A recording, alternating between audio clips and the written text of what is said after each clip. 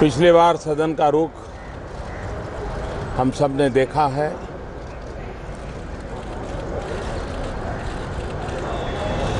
आज देश में एक जागरूकता है।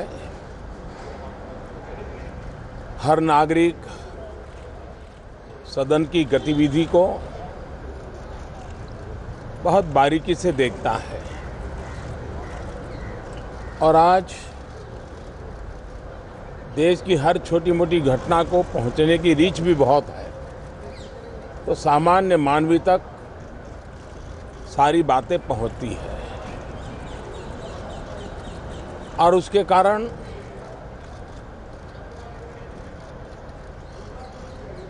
डिस्कशन में जिनका इंटरेस्ट नहीं होता है, डिबेट में जिनका इंटरेस्ट नहीं होता है,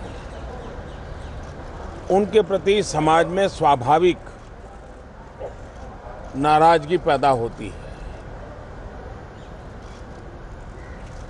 मैं आशा करता हूँ कि सभी हमारे आदरणीय सांसद इन जन भावनाओं को ध्यान में रखते हुए इस बजट सत्र का उपयोग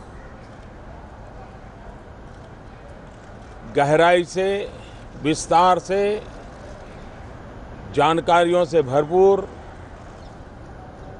चर्चा में हिस्सा लें, अपने विचार रखें, सदन को लाभान्वित करें, सरकार को भी लाभान्वित करें, और हमारे पास इस सत्र में जितना भी काम है, उसका सर्वाधिक उपयोग हमारे सभी आदरणीय सांसद करें, ऐसी मेरी उनसे अपेक्षा है। और मैं ये भी जानता हूँ कि अब जब अपने अपने क्षेत्र में भी उनको जाना है तो इस बार सदन में जो उत्तम और सकारात्मक व्यवहार रहा होगा, उसका एक सकारात्मक लाभ मैदान में भी, सदस्यों के तरफ़ लोगों के देखने के व्यवहार में भी नज़र आता रहता है। मुझे विश्वास है, इस गंभीरता को सभी लोग स्वीकार करेंगे। सबका साथ, सबका विकास। इस मंत्र को लेकर के हम चले हैं। आगे भी इसके लिए हम प्रतिबद्ध हैं कमिटेड हैं। सदन में भी सबका साथ लेकर के देश के विकास के लिए काम करने के निर्णयों में हम आगे बढ़ना चाहते हैं। हमारी पूरी कोशिश रहेगी। हर विषय पर चर्चा करने के लिए हम उत्सुक हैं।